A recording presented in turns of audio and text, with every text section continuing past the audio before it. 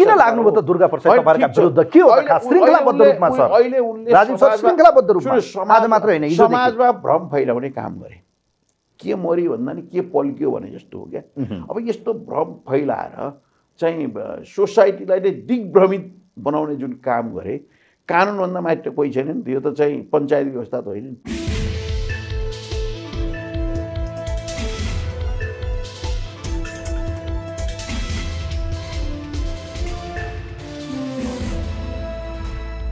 दर्शकबिन स्वागत गर्न चाहन्छु म नवराज थारुक आजको यो संवाद चक्रव्यूहमा हामी नेकपा एमालेका नेता राष्ट्रिय युवा सङ्घका केन्द्रीय अध्यक्ष केन्द्रीय इन्चार्ज पूर्व अध्यक्ष राजीव पहाडीसँग आज हामी संवाद गर्दैछौँ।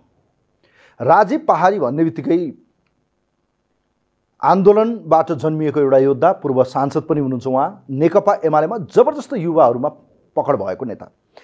आज किन हामी राजीव पहाडीलाई स्टुडियोमा निम्ता गऱ्यौँ भने खास गरी भाइरल अभियन्ता मेडिकल व्यवसायी दुर्गा परसाईले हिजो मात्रै सार्वजनिक रूपमा पत्रकार सम्मेलन गर्दै नेकपा एमालेका अध्यक्ष तथा सम्माननीय प्रधानमन्त्री केपी शर्मा ओलीको कम्बोडियामा स्मार्ट एक्जेटिया कम्पनीमा करिब करिब साढे बत्तिस अरब रुपियाँ लगानी रहेको खुलासा गर्नुभयो। त्यससँग केही सम्बन्धित भिडियो प्रमाणहरू या प्रमाणहरू बाहिर ल्याउने प्रयत्न गर्नुभयो जसलाई बाहिर पनि आयो। त त्यो भिडियो र ती सामग्रीहरू हेर्दा आश्चर्यचकित लाग्दा केही मिल्दाजुल्दा केही अमिल्दा केही यो भा भ्रामक केही झुटा जस्तो छ भनेपछि नेपालको प्रहरी खास गरी साइबर ब्युरोले उहाँलाई पक्रेको छ।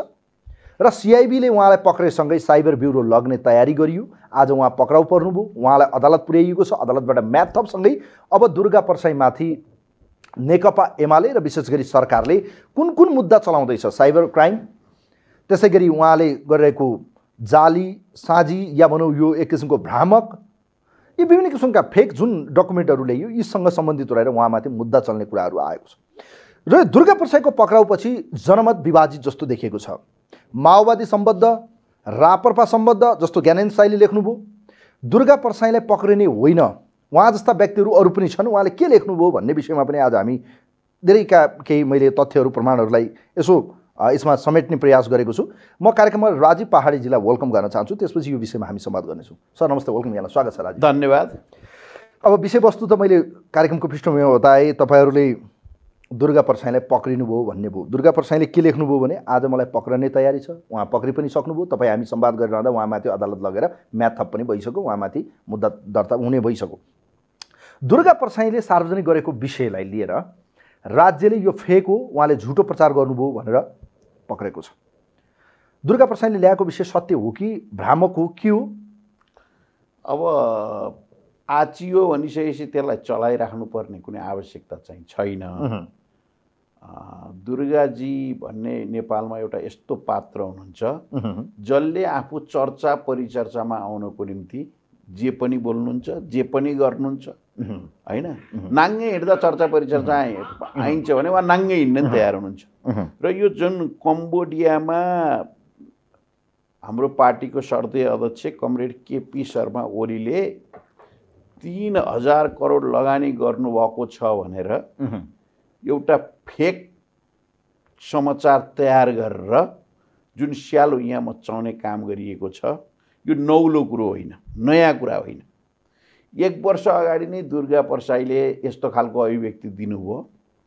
प्रहरीले उहाँलाई गिरफ्तार गर्यो र उहाँले के भन्नुभयो मैले सुनेको भरमा भने मैले गल्ती गरेँ मैले बेठिक काम गरेँ म चाहिँ क्षमा प्रार्थी छु भनेर एक वर्ष अगाडि चाहिँ उहाँले अनुसन्धान अधिकारीकै अगाडि अब म यस्तो गर्दिनँ भनेर उहाँ त्यहाँबाट निस्किनु भएको त्यसो भएर अब उहाँ कतैबाट परिचालित प्रायोजित मान्छे हुनुहुन्छ?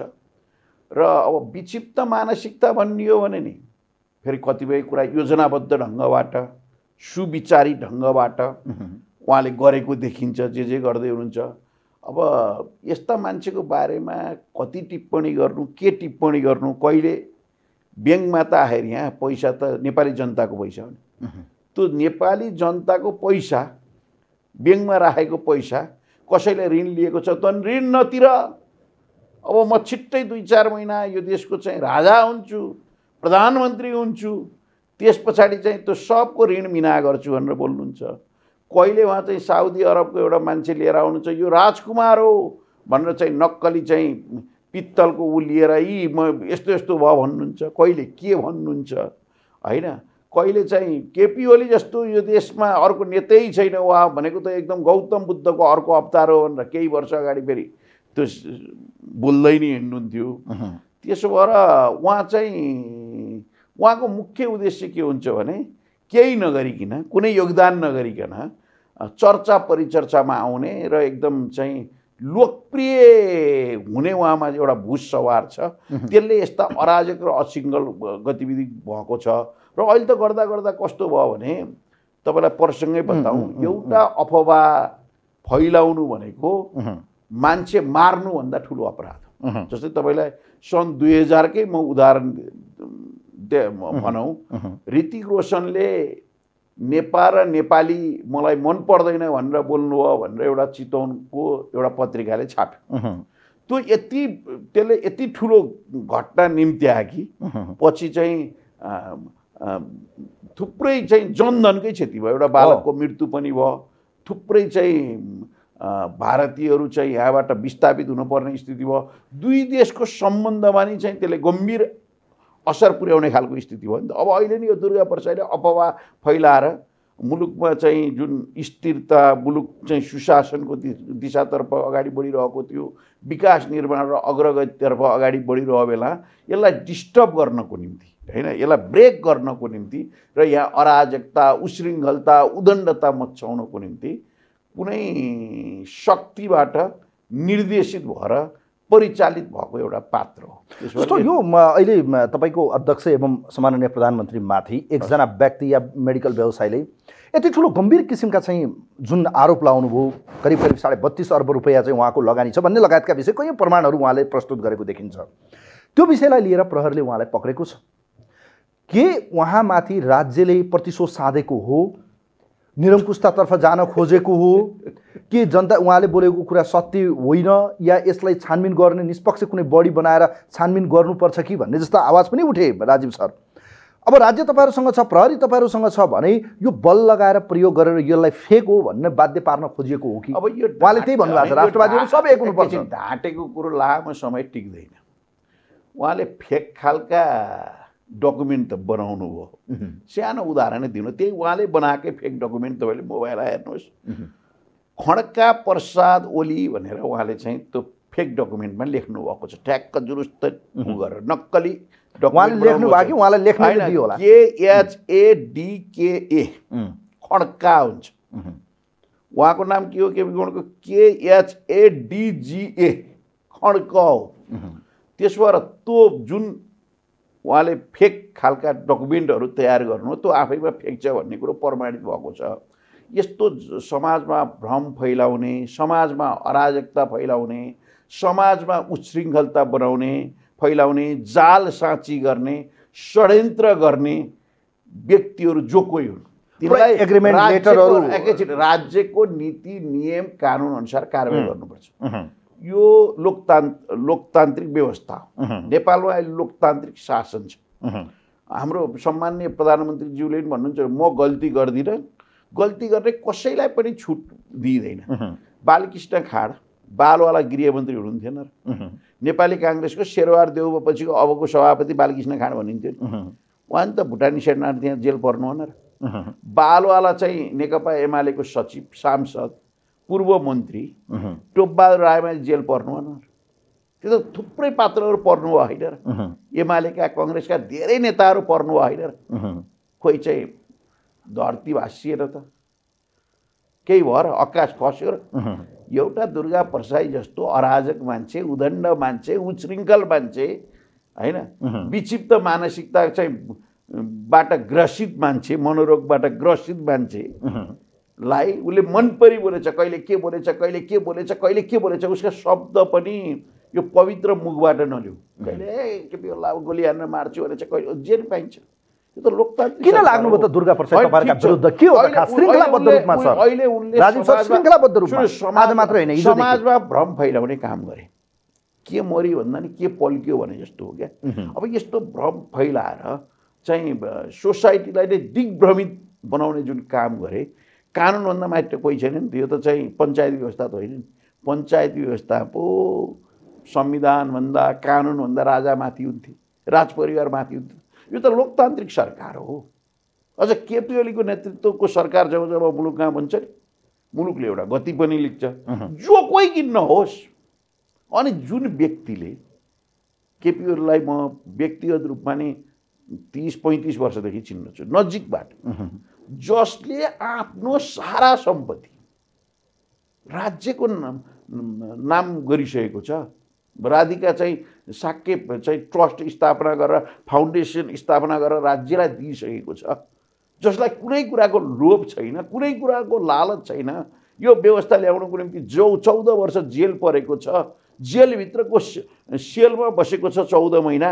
शिरदेखि तिरसम्म चाहिँ हिजो पञ्चायतीको चाहिँ क्रुक शासकहरूले कुटी कुटी चाहिँ शरीरका सबै अङ्ग प्रत्यङ्गहरू थिलो थिलो भएको छ। त्यस्तो व्यक्तिलाई एउटा चाहिँ अराजक उदण्ड उच्छृङ्खल श्रृङ्खलाबद्ध ढङ्गबाट उसको गतिविधि क्रियाकलाप हेर्नुहोस् त।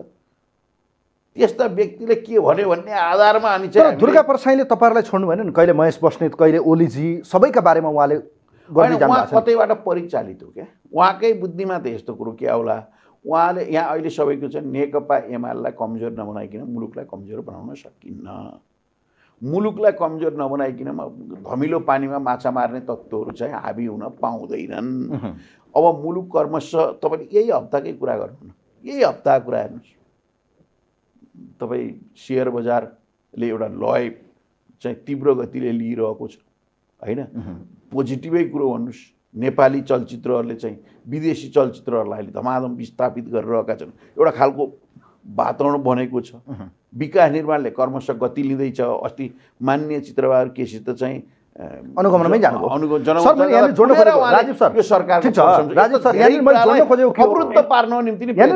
केही स्टेटमेन्टहरू पनि हेरेँ मैले। जस्तो अहिले दुर्गा प्रसाईकोलाई लिएर मान्छेहरूमा के अहिले दुविधा देखियो या क्वेसन उठ्यो भने यही प्रश्न सामान्य या भनौँ अन्य नेताहरूको हकमा उठेको भए छानबिन गर्न निलम्बन गर्न या भनौँ विभिन्न किसिमका आवाजहरू उठ्थे।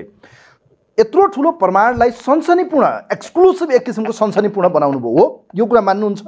त्यो विषयलाई लिएपछि प्रधानमन्त्रीले राजीनामा दिनु पर्थ्यो उहाँले बाटो प्रशस्त पार्नु पर्थ्यो छानबिन गर भन्नु पर्थ्यो राज्यले ल म माथि छानबिन गर यसको सत्य तथ्य के हो यसको फ्याक्ट चेक गर पो भन्नु पर्थ्यो पक्रिँदाखेरि सरकारसँग आज पावर छ। प्रहरी उसको छ।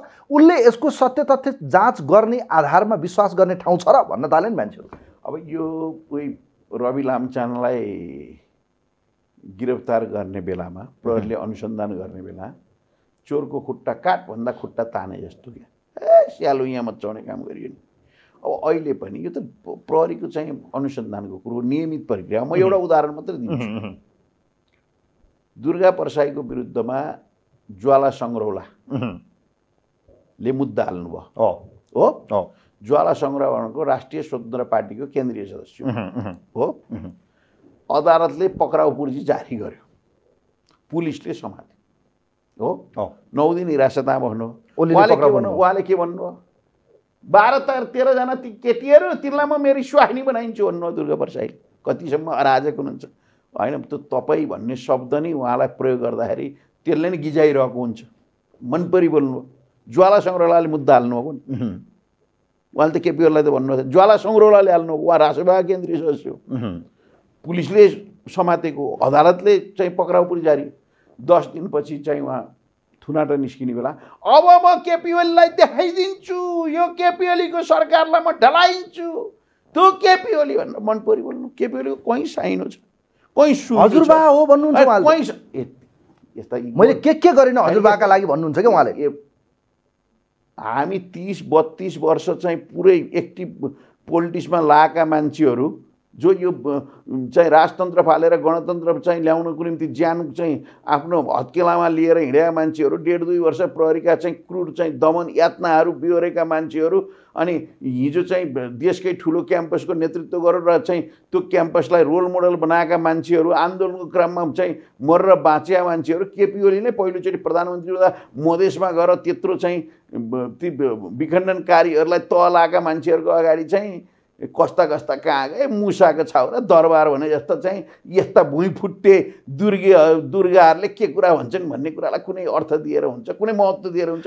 यति धेरै छलफल गर्नु नि होइन तर प्रश्न उठेछ कुनै हेर्नुहोस् अब तपाईँले। हेर्नुहोस् है यहाँ कसले के लेख्यो भन्दाखेरि दुर्गा दुर्गाजीले आफैले पनि भन्नुभयो म माथि अब राज्यद्रोहको मुद्दा लाग्न सक्छ। दुर्गालाई मोरा बनाएर होइन चाहिँ गुमेको चाहिँ आर्यघाटमा दाह संस्कार भएको व्यवस्थालाई फेरि ल्याउन सकिन्छ कि भनेर चाहिँ मुखा मिठो गुलियो चाहिँ लड्डु हालेर। चाहिँ यसो राईदाई गर्ने मान्छेहरू त ले त लेखिहाल्छन् नि त खुदो भएछ नि त उनीहरूलाई यहाँ ज्ञानेन्द्र ज्ञानेन्द्र साईले। या दुर्गा प्रसाद स्वयं सुन्नुहोस् है। ज्ञानेन्द्र साईले के लेख्नुभयो भने सरकार ओली सरकारलाई दुर्गा प्रसाद पक्राउने बारे मेरो सन्देश भनेर उहाँले भन्नुभयो। कुनै व्यक्तिलाई बिना कारण पक्राउ गर्ने सरकारको रवैया हो। यो कुर हो तानासाही हो अप्रजातान्त्रिक र राज्य आतङ्क हो। विधिको शासनमा अदालतबाट पक्राउ पुर्जी नलिएर उहाँलाई पक्रियो। यो गलत भयो यो तानासा हो भनेर भन्नुभयो। के भन्नु ज्ञानेन्द्र साई भनेको यो मुलुकमा फेरि मऱ्यो मान्छे जिउ जिउँदो बनाउन सकिन्छ कि बिउजाउन सकिन्छ कि भनेर चाहिँ लागिरहेको एउटा पात्र हो। ज्ञानेन्द्र साईको बारेमा धेरै कुरा किन गरौँ? उहाँको विगतै धेरै छर्लङ्ग छ। उहाँका अभिव्यक्ति उहाँका प्रस्तुति हिजोका उहाँका होइन तर दुर्गा प्रसादको पक्राउलाई लिएर उहाँहरूको विरोध जस्तो त देखियो। दुर्गा प्रसाद जे गरे ठिक गरे। जे गरिरहेछन् ठिक उहाँका। स्वभावहरू गलत हुन सक्छन्। एक- तर उहाँले दिएको प्रमाण सत्य हो कि असत्य हो भन्ने चेक गर्ने आधार के त राजीव सर? चेक गर्ने आधार के त? चेक गर्ने आधार यही त हो। नामै ठिक छैन। आखिर यहाँ जसले नि चाहिँ बेठिक काम गर्छ नि केही न केही तथ्य प्रमाण छोड्छ क्या। उहाँले त जम जम्मै नक्कली बनाउनु भएको छ के अरे अब त्यहाँ त प्रहरले छानबिन गर्छ नि त। ती स अनि उहाँले एक वर्ष अगाडि यही केसमा प्रहरले उहाँलाई चाहिँ लर अनुसन्धान गर्यो। गर्दा मैले गल्ती बोलेँ बेठिक बोलेँ। होइन म म म चाहिँ आत्मालोचित हुन्छु भनेर चाहिँ काजेर निस्केको। होइन एक वर्ष अगाडि भनेको। त्यही दुर्गा प्रसाद होइन र। एउटा राम्रो मान्छे सभ्य मान्छे शिष्ट मान्छेले बोले भए पो एउटा अर्थ हुन्थ्यो अस्ति अस्ति चाहिँ के कार्यक्रममा नाम मैले बिर्सेँ अहिले। एउटा विचित्र भयो मान्छेले मैले देखेको छु। के के भनेपछि? म त मानसिक रूपमै पागल हुँ भने। यस्ता व्यक्तिको बारेमा तपाईँ हामीले यो टेलिभिजनमा यति धेरै समय खर्चनु पनि चाहिँ राजीव सर यहाँनिर मलाई एउटा कुरा भन्नु न। अहिले तपाईँहरूमाथि चौतर्फी हमला छ। यसमध्येको एउटा पात्र हुन् दुर्गा परसाई। डे वानदेखि दुर्गा परसाई चुनावमा टिकट चाहनुहुन्थ्यो पार्टीले दिएन। उहाँलाई मेडिकलको कलेज सम्बन्धी सम्बन्धन चाहनुहुन्थ्यो त्यो बेला सहयोग भएन। मार्सी चामलको विषय आयो लगायतका विषयहरू आए। उहाँले पार्टी एकतामा पनि ठुलो योगदान पुर्याउनु भयो भनेर भनिन्छ। केही योगदान पुर्याउनु। मार्सी चामल चर्चामा आएको त हो नि। त्यसपछि मान्छेले दुर्गा प्रसाईलाई ए- नोट त गरे नि सर। नोटिसमा के- आउनु पनि भयो। सर एउटा कुरो के हुन्छ भने कोहीले खुवाइभन्दा वाइ ठुलो गर्छ हो नेताहरू त हामीले नियमित भेटिरहँला हामी नै चाहिँ अम, सम्मान्य प्रधानमन्त्री केपी ओली पहिला चाहिँ नेकपाको अध्यक्ष हुनुहुन्थ्यो अहिले माओवादीको अध्यक्ष प्रचण्ड लगायतकासित धेरै चरण बस्यौँ होला सँगै पनि बस्यौँ होला छुट्टा छुट्टै पनि बस्यौँ होला धेरै कार्यक्रममा सँगै पनि गयौँ होला चिया पनि खायौँ होला कफी पनि खायौँ होला खाना पनि खायौँ होला। खोइ हामीले त कहिले फेसबुकमा हाल्दैनौँ के? कहिले फोटो खिच्दैनौँ के? हामीलाई त चर्चा परिचर्चा आउनु पर्दैन। यी टुप्पाबाट यसो पलाएकाहरू उहाँको उद्देश्य एमाले प्रवेश गर्नुभयो एमाले प्रवेश गरेपछि उहाँले चाहिँ टिकटको हो। आशले लोभले लालचले उहाँ प्रवेश गर्नुहुन्छ उहाँ जस्तो मान्छेले टिकट पाउँछ नि त नि एमाले जस्तो पार्टी यहाँ भनेको क्या भन्नुभयो तपाईँको।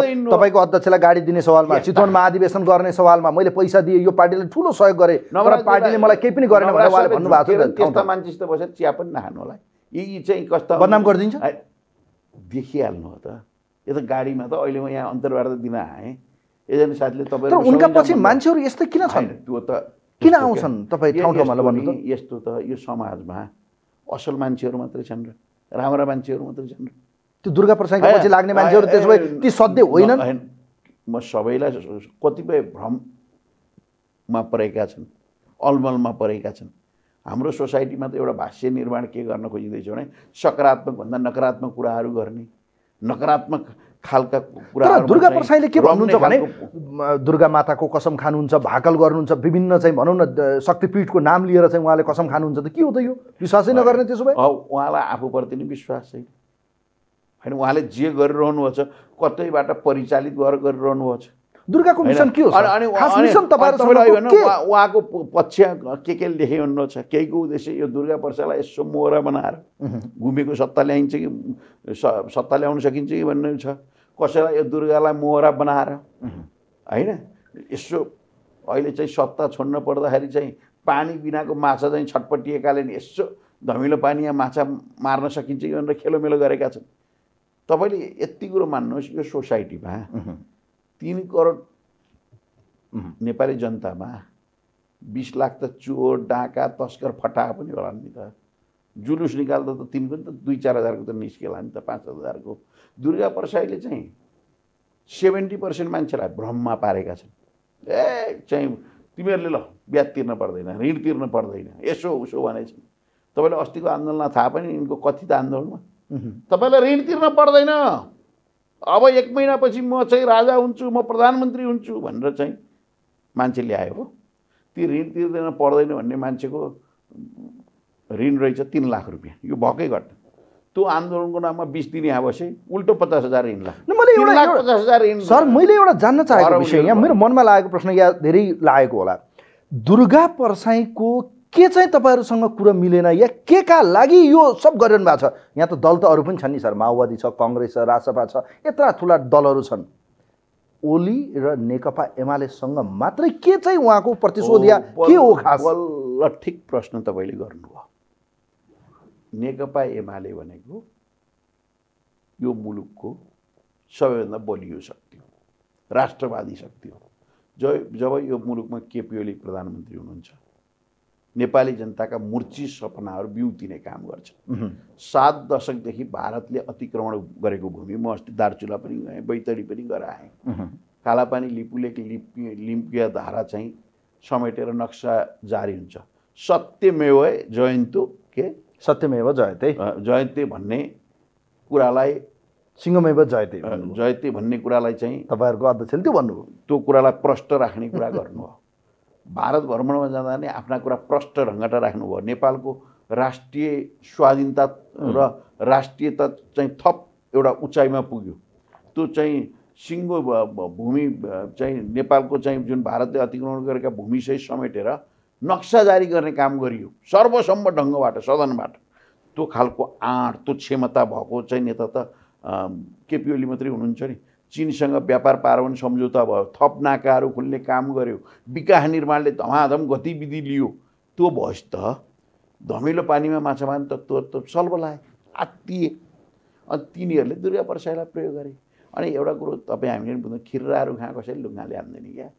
लट्रम्म स्याउ फलेको रूपमा। होइन एउटा चाहिँ होइन जोस- अरू पनि छन् त्यो तपाईँहरूसँग। मात्रै के चाहिँ त्यस्तो पऱ्यो क्या होइन, भन अचम्म होइन त चौ- चौरासीमा विरोध त सबैको चौरासीमा त एमाले बलियो शक्ति हुन्छ। एमालेकै नेतृत्वमा बहुमतको सरकार हुन्छ। एमालेलाई कमजोर नबनाइकन मुलुकको राष्ट्रियतालाई कमजोर बनाउन त्यो सकिँदैन गिरिबन्धु पनि मेरै कारणले मैले एमालेको यो भएको भनेर भन्नुहुन्छ उहाँले। के के हो के के हो? खै अब यसको सत्य तथ्य त सर अब त्यो राज्यले देखाउला पनि गर्ला अदालतले एकैछिन कुरो गरौँ। केपी ओली त अहिले प्रधानमन्त्री हुनुभयो क्या? पहिला त केपी ओली भन्दा पनि पहिला त अरू अरू धेरै मान्छे प्रधानमन्त्री थिए नि त। उम्, केपी ओलीको नामै सुन्न नचाहने प्रधानमन्त्री पनि थिए नि त। गिरिबन्धु टी स्टेटको बारेमा किन छानबिन नगरेको त? छानबिन गरे भयो त। यसको बिरियान त गरे भन्नु त मेरै ससुराको थियो अनि यसको बारेमा त गरे। तपाईँले यति कुरो हेर्नुहोस् केपी ओलीमा त त्यस्तो चाहिँ राजनेता। एमालेकै सरकार छ। एमालेकै नेताहरू अहिले चाहिँ? अहिले नेताहरू एउटा कुरा राजीव सर तपाईँहरू भन्नुहुन्छ राष्ट्रवादी नेता हो उहाँले आफ्नो सम्पत्ति पनि आज राज्यको नाममा भनौँ न दान गर्नुभएको छ या राज्यलाई सहयोग गर्नुभएको छ। तर एकपछि अर्को गरी तपाईँकै अध्यक्ष अहिलेको प्रधानमन्त्रीलाई किन भ्रष्टाचारका विभिन्न काण्डमा कहिले यति ओम्नी भनिएको छ कहिले गिरिबन्धु भनिएको छ कहिले जलहरी भनिएको छ कहिले यो कम्बोडिया केसहरू यो के हो सर? एकैछिन यो प्रायोजित नियोजित यो चाहिँ फन्डा हो। जसले गर्दा एमालेलाई कमजोर पारेपछि मात्रै मुलुकलाई कमजोर पार्न सकिन्छ। मुलुकमा अस्थिरता मचाउन सकिन्छ मुलुकमा उच्छृङ्खलता मचाउन सकिन्छ भनेर सुविचारी ढङ्गबाट केही पात्रहरूलाई मोहरा बनाएर यो योजनाबद्ध छ नत्र तपाईँलाई एक एक भनौँ जलहरीमा हत्याए हत्याए फुस्सा रहन्छ ए उचालियो। समिति बन्यो नाप जाँच गर्यो। के आयो त रिपोर्ट? गिरिबन्धु टी स्टेटमा नि त्यही हो। ओम ओ ओम्नीमा नि त्यही हो। यतिमा नि त्यही हो। कुनै तथ्य प्रमाणसहित गरौँ न त कारवाही ऊ एमा मैले यति कुरो मात्रै तपाईँलाई जोड दिन खोजेको। टोपबार रायमाझी एमालेको बालवाला सचिव होइन उहुँ। अहिले नि जेल हुनुहुन्न। सांसदै सांसदै हुनुहुन्छ त। अनि टोपबार रायमाझी जेल पर्दा टोपबार रायमाझीकै नेपालको लोकतान्त्रिक आन्दोलनमा ठुलो योगदान होला नि त। जेल नेल वर्षको दस वर्ष पुरै भूमिगत गएको मान्छे। टोपबार रायमाझी जेल पर्दा केही नहुने। अनि रवि लामिछाने चाहिँ अनुसन्धानको कर्म थुना हुने बित्तिकै फेरि ए पाहाडै खस्ने धरती नै भाँसिने हुन्छ र। ऊ एमाले त गरे छैन र। हाम्रै कोसीको बालवाला मन्त्री। मन्त्री भएकै मान्छेलाई लहर अस्ति थुनेन। जयप्रकाश गुप्ता हिजो काङ्ग्रेसकै मन्त्री हुँदा चाहिँ सूचना सञ्चार मन्त्री हुँदा उहाँ चाहिँ अनुसन्धानको क्रममा जेल पर्नु भएन खुम्बार खड्का जेलबाट निस्किनु भएको होइन। चिरञ्जीवी वागले जेलबाट नि उहाँहरू नि मन्त्री होइन शक्तिशाली मन्त्री होला नि त अझ. अनि यी नयाँ जोगीहरू बढी खरानी घस्छन् भने जस्तै राजनीतिमा आएको तर रविमाथि तपाईँहरूले प्रतिशोध साधेको हो नि। कसरी साधेको भन्नुहुन्छ? के गरेर भन्नुहुन्छ? सहकारीमा उहाँ आफै गरेर पैसा लिएकै होइन। सडकमा आएकाहरूले भनिरहनु भएको छ रविलाई फसाइयो। यो सबै कर्म चाहिँ ओलीजीले गर्नुभयो। हिजो नेता बनाउनु पनि उहाँ लाग्नुभयो गृहमन्त्रीसम्म बनाउनु भयो। आज त उहाँलाई सिद्ध्याइदिनु भयो भन् भन्नुहुन्छ उहाँहरू। तपाईँको अध्यक्ष भन्नुहुन्छ बरा लिँदै थियो एउटा केटो मैले जागिर लगाइदिएँ। हुनै त्यही हो त। उहाँ चाहिँ पहिला केही केही मिडियाहरूमा छ्यासा सुस्सा देखिनुहुन्थ्यो। त्यसपछि नेपाली नागरिकतै छोडेर भा अमेरिकातिर पलायन हुनुभयो। अमेरिकाको नागरिकता लिनुभयो सिटिजनसिप लिनुभयो ग्रिन कार्ड लिनुभयो के के लिनुभयो? होइन? त्यसपछि अमेरिकामा उहाँले के के गर्नुभयो? त्यतातिर धेरै नजाउँ फेरि नेपाल आउनुभयो। राजनीति यसो टेलिभिजनमा केपी ओली प्रधानमन्त्री हुँदा पहिलोचोटि प्रधानमन्त्री हुँदा म प्रधानमन्त्रीसित कार्यक्रम चलाउँछु म यस्तो उस्तो भन्नु ठिकै छ त। चलाउनुहोस् भन्नु चल्यो। त्यसपछि के के के के गर्नु बिचमा फेरि राजनीति आउनुभयो। मलाई त्यही के चाहिन्छ भने जस्तै त्यही केटी चाहिन्छ भने जस्तै मलाई गृहमन्त्री नै चाहिन्छ भन्नुभयो। दुई दुईचोटि गृहमन्त्री हुनुभयो। होइन? गृहमन्त्री हुँदा कति छानबिन गर्नुभयो।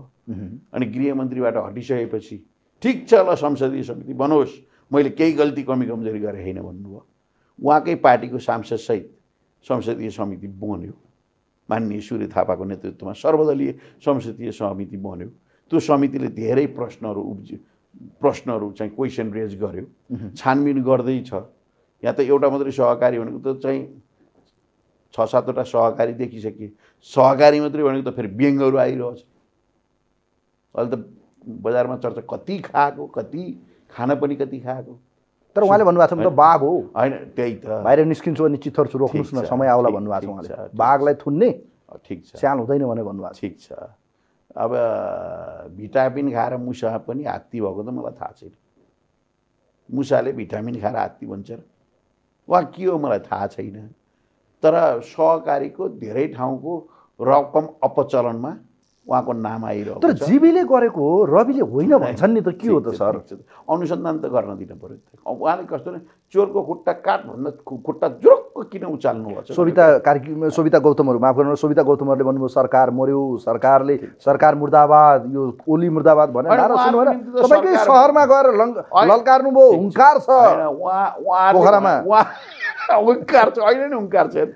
अहिले नि दस पन्ध्रजना त्यहाँ बसेर भयङ्कर बाघलाई अब छिटो छोड्न पऱ्यो भने हुङ्कार गऱ्यो गरे हुनुहुन्छ यस्ता चाहिँ दिउँसै चाहिँ रात पार्ने कुरा गर्न नि हुँदैन काम पनि गर्न हुँदैन। तिन चार सय मान्छे जम्मा गरेर चाहिँ एआईको चाहिँ दुरुपयोग गरेर सामाजिक सञ्जालको दुरुपयोग गरेर रविन्द्र अधिकारी बितेको चाहिँ मलामीका फोटाहरू राखेर बङ्गलादेशको चाहिँ त्यो आन्दोलनको घटनाका फोटाहरू राखेर त्यो नौटङ्की गर्नुपर्ने कुनै आवश्यकता छैन। तपाईँको फोटो पनि मैले देखेँ है आन्दोलनमा। ठिक छ ठिक किन लाग्यो ठिक छ, तपाईँ ठिक माथि छ। भन्नुहोस् होइन, त त्यो त के हो त्यो कहानी? तपाईँले कसको। पक्षमा तपाईँ एकदम एकदम ठिक प्रश्न उठाउनु भयो अब यो विभिन्न खालका स्यालोइयाहरू गर्छन्। किनभने हामी त गलत कुराको विरुद्धमा कुरा उठाइन्छ। जो कोही होस् जो कोही होस् राज्यको नीति नियम कानुनभन्दा माथि त कोही छैन। अब त्यसो गर्दाखेरि खराब मान्छेहरूले ठिक मान्छेलाई असल नबन्न नि सक्छन् तपाईँलाई पनि सहकारी ठग बनाए। त्यो त बनाए त। छानबिन होस् न छानबिन। गर्नुपर्छ होइन, पहाडीलाई भनेर। पोस्टर आयो त सर उहाँहरूले देखाउनु छानबिन त। सहकारी ठग त वास्तविक राजीव पहाडी हो छानबिन त भयो होला नि त छानबिन होस् न त। मैले त भनिरहेकै छु।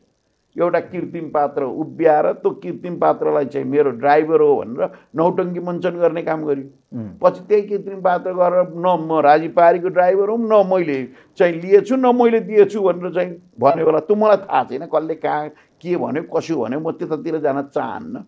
यो केपी ओली नेतृत्वको सरकार छ राज्य छ यो मुलुकमा सरकार छ सबैले अनुभूति चाहिँ गर्छन् गर्न पाउँछन् जो कोही होस् तर तपाईँकै सहरमा तपाईँकै फोटो राखेर पनि। राजसभाका कार्यकर्ताले असली ठगहरू यी हुन् धनराजजी। तपाईँको जी ऋषिकेशहरूको फोटो त मैले देखेँ है तपाईँहरूका नाममा नाराबाजी भएको छ। प्रायजी ढङ्गबाट। कसले के सम्प्रेषण गर्छ त्यो कुरातिर म जान चाहन्न म यति मात्र भन्छु कि रवि लामिछानेको विषयमा प्रश्न उठेको होइन तथ्यका आधारमा धेरै कुराहरू आइसकेपछि त्यसको बारेमा उहाँले जवाफ दिने कि। अदालतभित्रबाट चोर बाटोबाट एक दुईवटा मिडियालाई पसालेर मनपरी बोल्ने मनपरी ओली सरकार। ढाल्नुपर्छ भन्ने भन्नुभएको छ। उहाँले के के यो संयोग हो कि सर यो नियोजित हो? अब यो समयले बताउला सर। सात गते तपाईँहरू काठमाडौँमा शक्ति प्रदर्शन गर्दै हुनुहुन्छ। सात गते नै विगत वर्षमा पनि गत वर्ष पनि दुर्गाजीले गर्दै हुनुहुन्थ्यो आज चार गते पक्राउ गरिहाल्नुभयो। अब उहाँको आन्दोलन पनि के हुन्छ त्यो पनि हेरौँला। अर्कोतिर रवि दुर्गा पक्रनु उहाँहरू के भनिरहनु भएको छ भने ओली सरकार एक दुई तिन ढालौँ यो अधिनायकवाद हो भ्रष्ट हो। उहाँलाई नढालेसम्म जनताले सुख पाउँदैन। दुवैको स्टेटमेन्ट सेम छ त्यो के हो सर अनि दुर्गा र रविले भन्ने कुरो स्वाभाविक हो। यसलाई अस्वाभाविक भन्न मान मान्न सकिँदैन। किनभने यो त काले काले मिलेर खाउँ भाले भन्ने थियो। त भाले खान नपाइसकेपछिको यो रोदन हो यो चिच्याट हो। होइन त्यसो भने यतातिर धेरै नजाउँ। म धेरै जान आवश्यकै छैन नि उहाँहरूको त आएर मिल्यो नि त वेभ लेन्थ मिल्यो नि त वेभ लेन्थ मिल्यो नि त अब दुर्गाजीले नि त आफ्नो मेडिकल कलेजको सम्बोधन पाएपछि केही चुप लाएर एकदम फेरि प्रशंसाको चाहिँ फुलबुट्टा भर्नु थियो उहाँले चाहिँ त्यो विरोध गर्यो भनेर पाएको नि होइन किनभने उहाँले पछि नियमले प्रोसेसले पाएको त्यसमा सरकारको कुनै भूमिका छैन अब उहाँ उहाँको र रविको अहिले वेभ लेन्थ मिलेको छ रविजीको अब जहाँसम्म एउटा प्रश्न एकदम जबरजस्त आएको छ रविजी उप प्रधानमन्त्री भइसकेको मान्छे गृहमन्त्री भइसकेको मान्छेलाई बाहिर राखेर अनुसन्धान गर्नुपर्छ? त्यो त उहाँको उहाँलाई facility गर्नुपर्छ विगत हेर्नु पऱ्यो नि त उहाँलाई उहाँ भागी जाने मान्छे हो राजीव सर? एकैछिन पहिला त नेपाल धनराजीलाई बाहिर राख्न मिल्ने ऋषिकेशजीहरूमाथि। सोधपुछ समेत नहुने। अरू अरू नेतामाथि केही नहुने। उहाँ त देशको उप प्रधान तथा गृहमन्त्री एउटा पार्टी शक्तिशाली चौथो पार्टीको भनौँ न प्रेसिडेन्ट अध्यक्ष उहाँ भागी जाने मान्छे हो सर। उहाँले तथ्य प्रमाण लुकाउने हो र। विगतमा त उहाँले नेपालको नागरिकता छोडेर विदेश जानुभयो नि त अमेरिका जानुभयो नि त। त्यो विगत हो नि सर आज अमेरिकै त। बस्नुभयो नि त फेरि नि त नहोला भन्न त सकिन्न नि। अनि अनुसन्धानको क्रममा त्यो त अदालतको कुरो हो नि त। अदालतले बाहिर राखेर नि उहाँलाई अनुसन्धान गर्न सक्छ। भित्र राखेर नि गर्न सक्छ नि त। त्यो त अदालतको कुरो हो। र हामी नेपालमा चाहिँ शक्ति पृथकीकरणको सिद्धान्त अवलम्बन गर्छौँ। कार्यपालिका न्यायपालिका व्यवस्था तर उहाँले के भन्नुभएको थियो सर भने राजीव सर भने त्यसलाई लागु त संसद विघटन गरेको समयमा एउटा निर्णय अदालतले गर्यो। तपाईँहरूले मान्दिनँ भने जस्तो गर्नुभयो। अदालत पूर्वाग्रह भयो तिम्रो बाको अदालत हो र नमान्नलाई भनेर उहाँले भन्नुभएको थियो। आज तपाईँहरूले पक्रिनु भयो अब उहाँ के भन्नु भएको छ भने अदालतमा सेटिङ भयो। अदालतमा यिनका मान्छे छन् पूर्वाग्रही भयो प्रतिशोध साधी हो के हो सर यस्तो द्वैत चरित्र भएका व्यक्तिहरूको बारेमा के भनौँ? हात्तीको देखाउने नि चाप हुन्छ दाँत हुन्छ चपाउने अर्को दाँत हुन्छ। उहाँको त्यही उहाँकै तपाईँले भन्नु त। उहाँले छ महिना अगाडि के बोल्नु छ महिना पछाडि के बोल्नु अहिले के बोल्नुहोस् पहिला मेरो सहकारी केही सघाउँदै छैन अहिले के भन्नु अब मैले छ लिड त लिएको त। भन्नु अब हेर्दै जाऊँ न। यो कतिपय कुरो कस्तो हुन्छ भने नवराज सर? यो जे प्रश्न उठ्छ नि सबैको उत्तर दिइहाल्नुपर्छ भन्ने हुँदैन भोलि बिहान हुन्छ आज रात पर्खाउन केपी गौडको बारेमा जुन खालको स्यालो यहाँ मचाइएको छ त्यो भोलि बिहान सबै कुरो छ तपाईँलाई लाग्छ राजीव सर?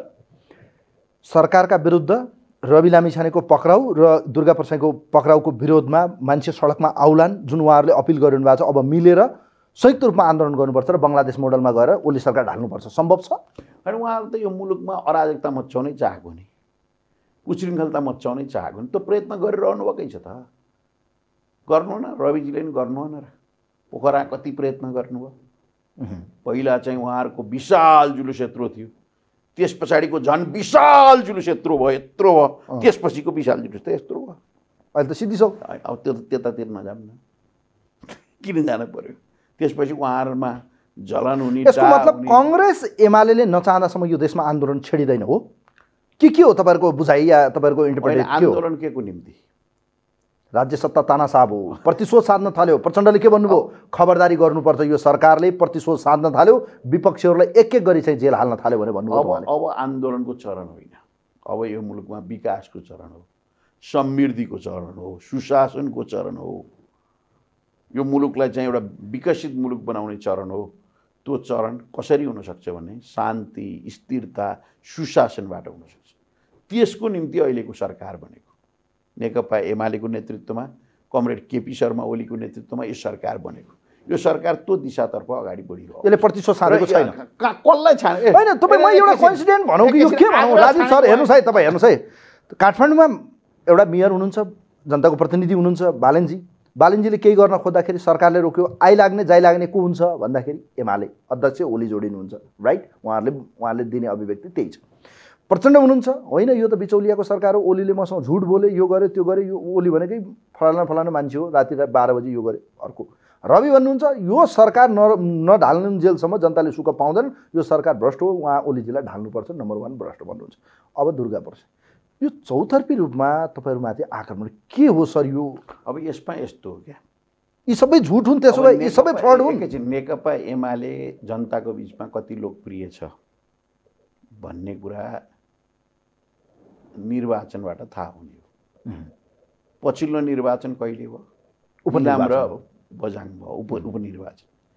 इलाममा सुभाष नेवाङले जित्योभन्दा अझ धेरै मतको अन्तरले सुवाङले जित्नुभयो। हो? तपाईँ बजाङमा त कङ्ग्रेसले जितेको ठाउँ हो। एमाले जित्यो। जनमतको परीक्षण हो। अब सोह्र गते स्थानीय उपनिर्वाचन हुँदैछ। कतिपय पार्टी त के के रासोपा के के भन्नेले त उम्मेदवारै पाएनन् अरे। वा अर्को पार्टीलाई सहयोग गरे होला। त्यो उपनिर्वाचन स्थानीय उपनिर्वाचनले जनताको परीक्षण गरिहाल्छ। को कति लोकप्रिय छ भन्ने कुरो।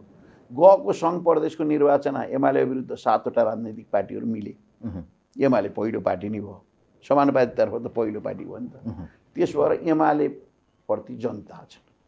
यो देशका श्रमजीवी शोषित गरिब न्यायप्रेमी जो यो मुलुकको विकास चाहन्छन् अग्रगति चाहन्छन् प्रगति चाहन्छन् ती जनता एमाले पछ्या छन्। अहिले भनेका तपाईँले नामदारी दुई चारवटा मान्छे कता छन् भन्ने कुरातिर नजाउँ न त। तपाईँले सोह्र गतिको स्थानीय उपनिर्वाचनपछि मलाई फेरि बोलाउनु यो सात गते मङ्सिर सातमा तपाईँहरूले एउटा शक्ति प्रदर्शन गर्ने। गरी अराजकता विरुद्ध होइन। प्रदर्शन। होइन। हामीले हामीले यो नै तपाईँहरू सरकारमा हुने। एकैछिन म सरकार हामी छौँ।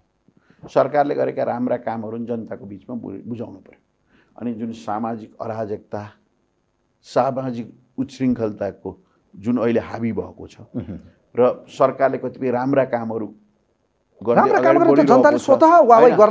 छ। नि। निम्ति प्रचार सरकार-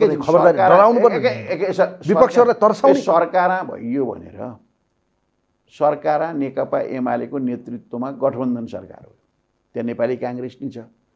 मधेसवादी दलहरू पनि छन् अन्य पार्टीहरू पनि छन्। छन्? छैन एमालेको बागमती प्रदेश कमिटीले एउटा प्रदेशले क्या? सातवटा प्रदेशमध्ये एउटा प्रदेशले जागरण सभा राखेको। उसले आफ्नो नियमित कार्यक्रम राखेको। अनि त्यो कार्यक्रम राख्ने बित्तिकै ए आत्तिहाल्नु पर्ने के छ त? सत्तामा हुने अलिअलि पैसा पनि छ शक्ति पनि छ। अनि त्यही पैसा अलिअलि बगाएर मान्छे ल्याउन खोज्या प्रधानमन्त्रीले प्रश्न भन्नुभएको छ म भ्रष्टाचार गर्दिनँ पनि गर्न पनि दिन्न। तपाईँले यही भन्नु पत्याउँछन् सर। यो यो यो स्लोगन जुन भन्नुहुन्छ उहाँले पत्याउनुहुन्छ। तपाईँले एकै पब्लिकले पत्याउँछ। व्यवहारमा के भयो छ पब्लिकले पत्याएर त एमालेलाई साथ दिनुहुन्छ। लीला बल्लभ अधिकारी उहाँ नेकपा एमालेको नेता होइन प्रदेश कमिटीको सदस्य होइन बालवाला चाहिँ कानुन मन्त्री होइन कानुन वा प्रदेशको भन्नुहुन्छ त गृहमन्त्री नै भनौँ आन्तरिक मामिला मन्त्री उहाँको उहाँको सन्दर्भमा प्रहरीले अनुसन्धान गर्ने भयो उहाँलाई पार्टीले। ओलीजीको सम्पत्ति दुर्गाजीले। के भन्नुभयो हिजो हिजो मात्रै भने उहाँको सम्पत्तिको हकदार अहिले जति उहाँले भनिरहनु भएको छ राकेश राजेश बजाराचार्य विष्णु रिमाल र एकजना अर्को व्यक्तिको नाम लिनुभयो उहाँले मैले बिर्सिएँ। यी व्यक्तिहरू नै हकदार हो भनेर भन्नु अनि उहाँको बारेमा हामीले उहाँले बोलेका विषयको बारेमा टिका टिप्पणी गर्नु चाहिँ त्यो शोभनीय हो जे पनि बोल्नुहुन्छ उहाँले। उहाँले के बोल्न बाँकी राख्नुभयो सर उहाँको तपाईँहरूलाई त नाङ्गे झार पारेर यो- उहाँको जनतामा नाङ्गै पारिदिनु भयो। ल हेर्नुहोस् त। अब एउटा नाङ्गै पारिदिनु भयो भनौँ न एउटा कुरा। देशको प्रधानमन्त्रीलाई लड्कार्न सक्ने तागत त कुनैसँग रहेछ भने दुर्गा प्रसाद। हिम्मतिलो छोरो हो भन्न थाले मान्छेहरू ल हेर्नु त। यो त लोकतान्त्रिक व्यवस्था हो नि त। उयो रवि लामिछानेकै शब्द सापट्टि लिने हो भने यो लोकतान्त्रिक व्यवस्थाप्रति म गर्व गर्छु। जुन व्यवस्थाले मान्छेलाई प्रधानमन्त्री पनि बनाउँछ मन्त्री पनि बनाउँछ मेयर पनि बनाउँछ र उसले गलत गर्यो भने ती मान्छेलाई थुन्न पनि सक्छ। आज बालकृष्ण खाँड थुनिनु भएको छ आज टोपबहादुर रायमाझी थुनिनु भएको छ तर लोकतन्त्रमा सर व्यवस्थाले लोकतन्त्रमा जनताले विरोध पनि गर्न पाउँछ है। आज जनताले खबरदारी पनि गर्न सक्छ विरोध पनि गर्न सक्छ तर ती विरोधका आवाजलाई होइन, कुण्ठित गर्ने भनेको त त्यो निरङ्कुशता होइन विरोध गर्न पाइन्छ। लोकतन्त्र बोल्नै नपाइने सरकारको विरोध गर्ने बित्तिकै कर्याप झ्याप दिने जेल हालिदिने मुद्दा चलाइदिने। विरोध गर्न पाइन्छ। तर जे पनि गर्न पाइन्छ।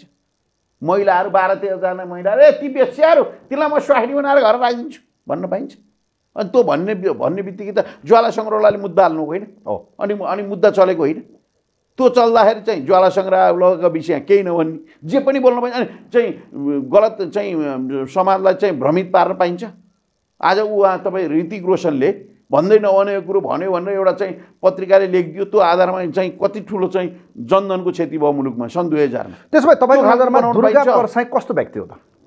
दुर्गा परसाई भनेको अत्यन्त महत्व महत्त्वकाङ्क्षी अराजक उदण्ड उच्छृङ्खल चर्चा परिचर्चामा जे पनि गर्न चाहने होइन एउटा चाहिँ विक्षिप्त मानसिकताको उपज भएको। म सम्पत्ति पुरै लुटाइदिन्छु तर यो व्यवस्था म उल्टाइदिन्छु भन्नुहुन्छ नि उहाँ उहाँ- उहाँको करोडौँ रुपियाँ खर्च गर्छु। तर यो गणतन्त्र ढाल्नै पर्छ भनेर लागिरहनु। यो व्यवस्था म। हो त्यसो भएर उहाँ थप तपाईँकै शब्द सापेट लिने हो भने उहाँले बोले अनुसार उहाँ प्रतिगामी पनि हो यो व्यवस्था नरुचाउने प्रतिगामी यो भ्रष्ट व्यवस्था लोकतान्त्रिक व्यवस्था हो लोकतान्त्रिक व्यवस्थामा पाँच पाँच वर्षमा निर्वाचन हुन्छ कहिलेकाहीँ बिचै अ, चाहिँ निर्वाचन हुनसक्छ व्यक्ति मन परेन भने पार्टी मन परेन भने फेर्न पनि पाइन्छ।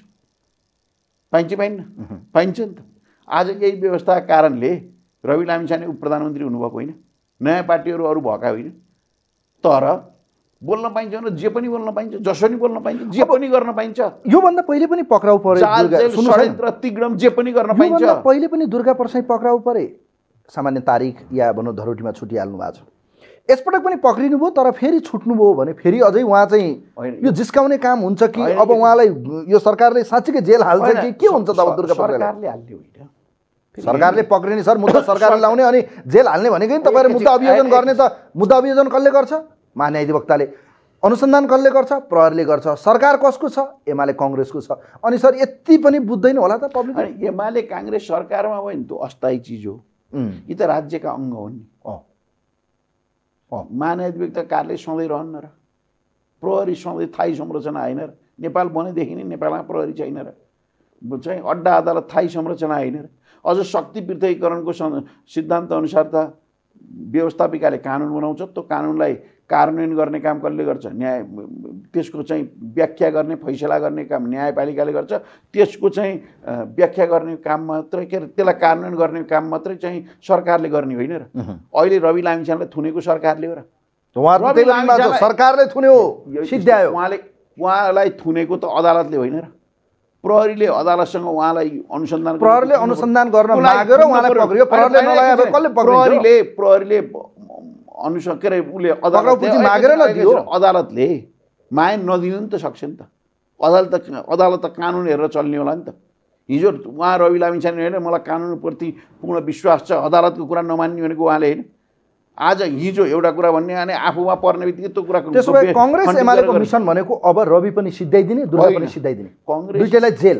कङ्ग्रेस एमालेको मिसन भनेको उद्देश्य भनेको लक्ष्य भनेको यो मुलुकमा सुशासन स्थापना। विकासलाई अगाडि बढाउने। समृद्ध नेपाल निर्माण गर्ने। सहरमा भन्दा सुखी नेपाली समृद्ध नेपाल निर्माणको अभियानमा अगाडि बढाउने। ल एन्ड अर्डर मुलुकमा कायम राख्ने। के हुन्छ त? दुर्गा परसाई र रविलाई के हुन्छ होला? अब त्यो त कानुन अब नै के हुन्छ? अनुमान हाइपोथेटिकल के हो त? दुर्गा छुटिहाल्नुहुन्छ पाँच दिनमा? होइन। बिस पच्चिस दिनमा? कानुनभन्दा माथि कोही छैन। हो? कानुनमा त भन्दा माथि कोही छैन। अब कानुनको चाहिँ को कानुन अनुसारको उहाँले दण्ड सजाय भोग्नुहुन्छ। त्यो म त न्यायाधीश त होइन नि त। म त चाहिँ एकदम भविष्यवाणीकर्ता पनि होइन। यो विचार दिने विषयमा धेरै कुरा नि नबोलौँ। यो त अदालत अब त साइबर क्राइम कृति विभिन्न मुद्दाहरू लाग्ने भयो। होइन, अर्कोतिर रविजीलाई सङ्गठित अपराध सहकारी ठग सम्पत्ति शुद्धिकरण। एउटा कुरो के भने वैकल्पिक गरे क्या उहाँहरू उहाँहरूलाई सिधै एक- तपाईँहरू एकैछिन, यो चाहिँ कसैले लगाएर विरुद्ध अनि आउनुभयो, कसै- सिधै दिनुभयो। क- कसैले लगाएर लाग्ने होइन नि त भएर त लाग्ने होला त तपाईँले यही कुरो भनौँ लीला बल्लभ अधिकारीलाई अस्ति चाहिँ प्रहरीले समातेर थुन्यो। अदालतले उहाँको निम्ति चाहिँ पक्राउ पुर्जी दियो पक्राउ पुर्जी दियो त्यो दिँदा चाहिँ ठिक हुने आज दुर्गा प्रसादलाई दिने बित्तिकै त्यो आग्रहपूर्ण हुने तपाईँले हेर्नु न केपी ओली नेतृत्वको सरकारको बेलामा कसैलाई कहाँ कसैलाई पाहा हुन्न क्या? यो सरकार जनताको सरकार हो। यो सरकार लोकतान्त्रिक सरकार हो। केपी ओलीको मैले पटक पटक भनेको मलाई यो नेतृत्वप्रति पूर्ण विश्वास छ। केपी ओलीको एउटै उद्देश्य छ क्या? एउटै लक्ष्य छ। सुखी नेपाली समृद्ध नेपाल निर्माण गर्ने विधिको र कानुनको शासन स्थापित गर्ने। अनि त्यस्तो पात्रको विषयमा तर दुर्गा प्रसाई त प्रधानमन्त्रीको ठाडो निर्देशनमा पक्राउ पर्नु भएको छ। होइन त्यो हुँदै होइन। नि त्यो चाहिँ उहाँले त यो यो दस बाह्र दिन तपाईँहरूले प्रेसर दिनुभयो नि कसरी हुन्छ यसलाई पक्रिनुपर्छ जसरी हुन्छ यो अराजकता भयो यसलाई ठेगान लाउनै पर्छ भन्ने थियो क्या। तपाईँका स्टाटस मैले हेरेको सामाजिक सञ्जालमा हेरिसक्नु अँ, जनताले भने त जे कुराको पनि अति हुन्छ चिनी पनि धेरै खायो भने तितो हुन्छ क्या। चिनियोको चाहिँ गुण भनेको गुलियो। तर धेरै खायो भने तितो हुन्छ नि। मैले दुर्गा प्रसाईको बारेमा मेरो जीवनमा पहिलोचोटि टेलिभिजनबाट यति धेरै कमेन्ट गरेको। जे पनि बोलिने जसो नि बोलिने ए मारिदिन्छु काटिदिन्छु ठोकिदिन्छु ल। शैली हेर्नु नि शब्द। के पो यहाँ यो मुलुकमा चाहिँ विधि छैन कानुन छैन नीति छैन नियम छैन अनि राष्ट्रिय भाषा प्रयोग गरेको।